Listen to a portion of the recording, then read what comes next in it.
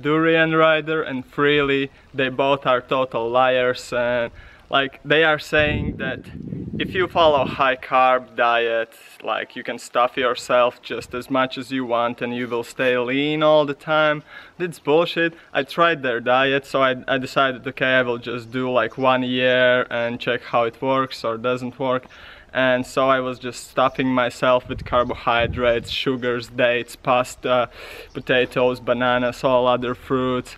And like this is what you get. Like you see? It's fucking a lot of fat there. And I want to be like 3% lean, like really lean body, just lean gains, but this is, it's not, it's not enough.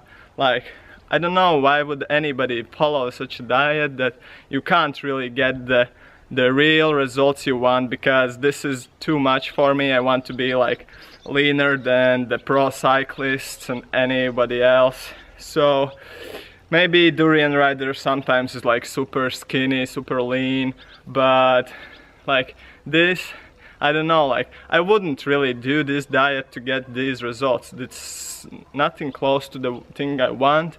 So I'm saying that they are lying to you.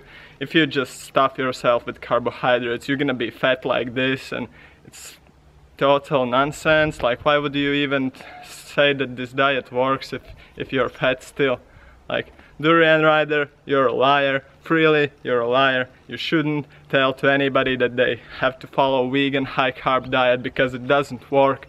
So you both are just losers.